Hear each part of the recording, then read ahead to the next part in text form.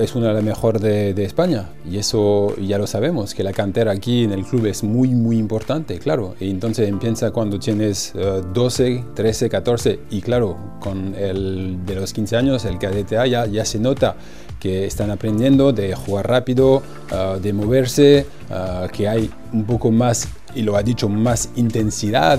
Football in Spain is different to other like countries. It's more like take the ball, pass it, move, have the ball pass, move. It's not about dribbling, it's about passing it and moving around. En mi época uh, era el mismo presidente, Fernando Roy. Hoy estamos viendo que, claro, que lo más importante para gente es el equipo 1. Prim primer equipo, claro, es normal porque está en la, en la Liga Santander y la tiene que, que hacer bien. Pero de lo que sé con el Presi, también para él lo más importante también es de tener una buena cantera. Hoy lo tiene.